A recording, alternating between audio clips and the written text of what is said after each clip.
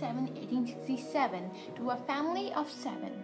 She was the youngest out of all her four siblings. She was a bright student who excelled in physics and math, like her father, who was a math and physics professor. After secondary school, Curie hoped to further her education while a brilliant and curious student.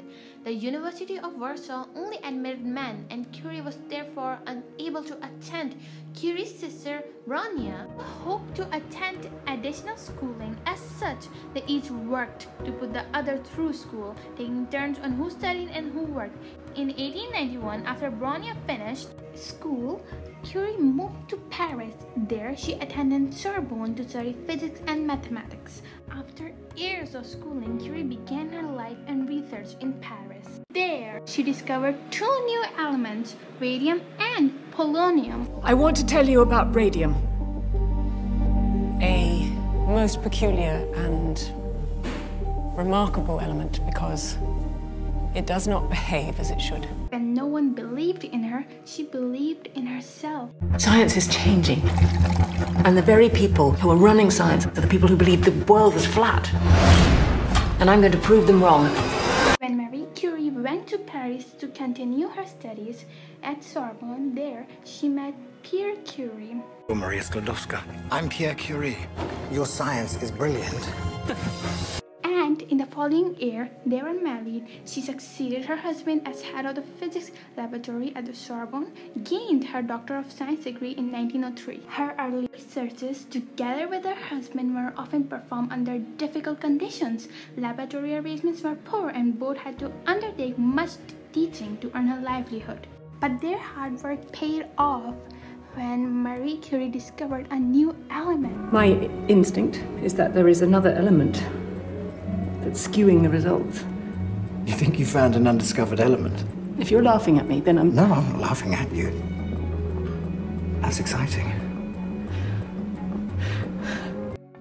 discovery of radioactivity by Henri Becquerel in 1896 inspired the Curies in their brilliant researches and analyses, which led to the isolation of polonium.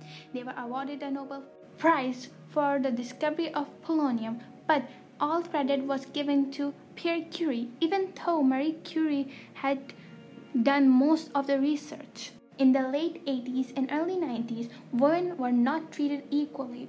They were not treated fairly as men were. They were considered housewives. Marie wanted to protest because she was not recognized for her hard work. Everyone made bad rumors about her and spread like wildfire. But Marie Will have other people's opinions ever affected anything I've done? never let those rumors affect her. We are here to present to you two new elements polonium and radium. We all thought that atoms were finite and stable. Well, it turns out some of them are not. And in their instability, they emit rays. I have called this radioactivity. We are here to tell you that you have fundamentally misunderstood the atom.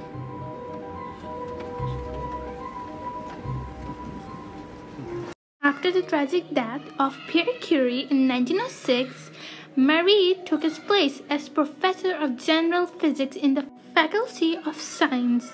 The first time a woman had held this position, she was also appointed director of the Curie Laboratory in the Radium Institute of the University of Paris, founded in 1914. It's the most beautiful thing I've ever seen.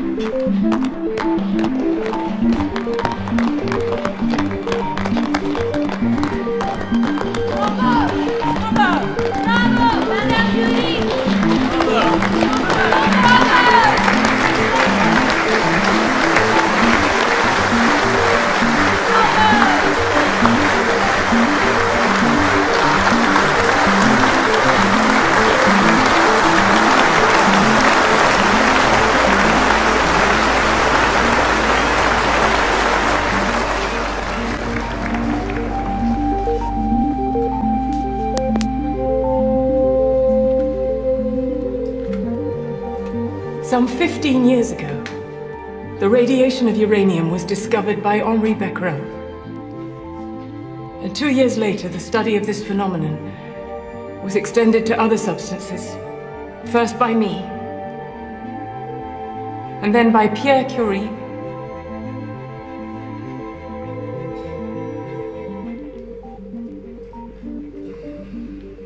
and myself. This study rapidly led us to the discovery of new elements, the radiation of which, while being analogous to that of uranium, was far more intense.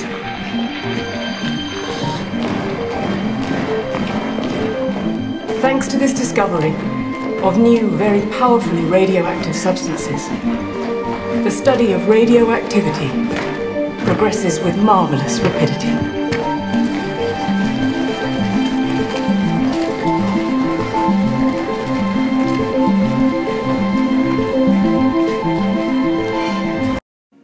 Throughout her life, actively promoted the use of radium to alter VA suffering, and during World War I, assisted by her daughter Irene, she personally devoted herself to this remedial work. She retained her enthusiasm for science throughout her life and did much to establish a radioactivity laboratory in her native city. Marie Curie used her new discovered element, radium, be the gamma ray source on the X-ray machine. This allowed for more accurate and stronger X-rays. She also created smaller and portable X-ray machines that could be used by medics in the field. In this way, she saved many lives and supported the war effort through her work. In the 1920s, Curie's health began to deteriorate while now it is common knowledge of the noxious nature of radium and effects of radioactivity on the human body, but Marie was not aware of this knowledge. It is said that in her lab, Marie would carry tubes of radium in her pocket. Therefore, the unknown danger of her actions as well as years of close contact with radioactive material, it's no surprise Marie Curie suffered from leukemia late in her life. This high energy radiation took its toll on on July 4th, 1934, Marie Curie passed away. Her legacy lived on through her eldest daughter, Irene. Irene Curie studied in her parents' Radium Institute. She, as well as her husband, was later rewarded a Nobel Prize in the chemistry for the discovery for artificial radioactivity. The war Marie Curie participated in and saved many lives was the last war of her life, and she won it. You're Marie Curie. It's time to make this war your war. Please.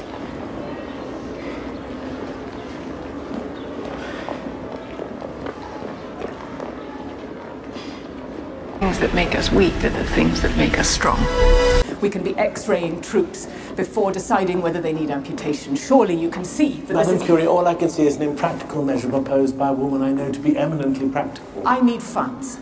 I need access. I need the ability to go out on the battlefields. You must grant it me. Oh, Why, pray, must I do that?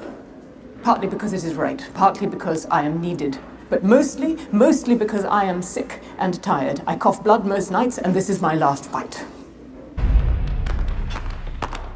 And I will win it. woman who devoted her life to science and her family is an inspiration for many women nowadays that you should never give up just because you are not treated fairly in the society.